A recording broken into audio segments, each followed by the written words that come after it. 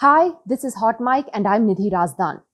Last week, the United States and the European Union decided to step up the heat on President Putin of Russia and impose new sanctions, this time targeting his two adult daughters. The Russian public don't know much about Putin's family or his private life. The daughters, who are in their 30s, have been shielded from public glare for the most part. So what exactly do we know about them and about Putin's private life? The daughters are one, 37-year-old Katerina Tikhonova and 36-year-old Maria Vorontsova. The sanctions against them mean that their assets are being seized and they cannot travel to Europe. US officials believe that they are also hiding a large chunk of Putin's personal wealth. Both daughters are from Putin's ex-wife, Ludmila Shkrebneva, who was an air hostess for Aeroflot, the largest Russian airline when she began dating Putin in the late 1970s. The story goes that Ludmila did not think much of Putin when she first met him on a double date and thought he wasn't very nicely dressed. But they dated for four years before getting married in 1983. Ludmila and Putin divorced in 2014 after reports surfaced that he had an affair at age 56 with a former Olympic gymnast, 24-year-old Alina Kabaeva, with whom he's reported to have had another child. According to the New York Times, Putin denied being engaged to Alina, telling reporters back then that I've always disliked those who, with their infected noses and erotic fantasies, break into other people's private affairs. And in fact, the Russian newspaper that originally broke the story shut down soon afterwards.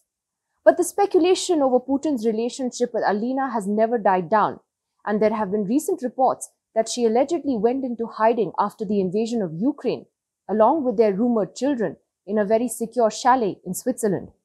A change.org petition has gathered nearly 100,000 signatures urging Switzerland to take action against her.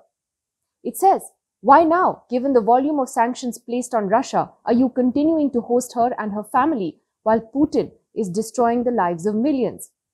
Now, one Swiss TV channel reported that the federal Swiss government has found no indication that Alina Kabaeva is actually in the country. In fact, it was opposition leader Alexei Navalny who investigated Putin's relationship with Alina that was published just after he was arrested in January 2021. Navalny alleged that Alina benefited enormously from her relationship with Putin by acquiring a large number of luxury properties and that she also got a very well-paying job as chairperson of the board at the state media holding company called the National Media Group. The group holds the government stakes in the media.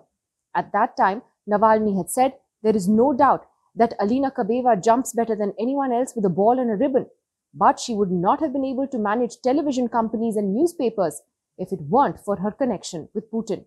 There have been reports of another secret love child, a daughter, also the product of a love affair.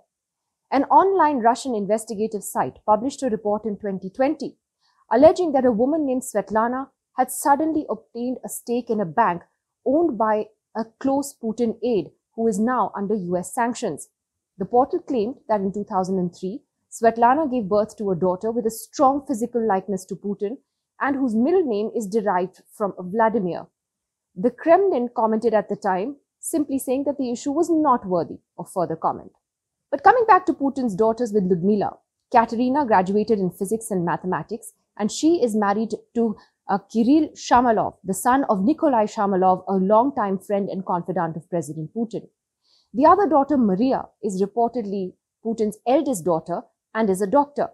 She married a Dutchman who she is reportedly separated from now. Putin has a tightly controlled narrative about his life all these years, almost never talking about his family. In rare comments that he made back in 2012, he only said, my children are doing well, they're in Moscow, they study and work part-time. All is well in their private life and in terms of their professional development. I'm proud of them. In August of 2020, he claimed that one of his daughters had taken part in a trial for Russia's Sputnik coronavirus vaccine. And that is pretty much all we know about his family.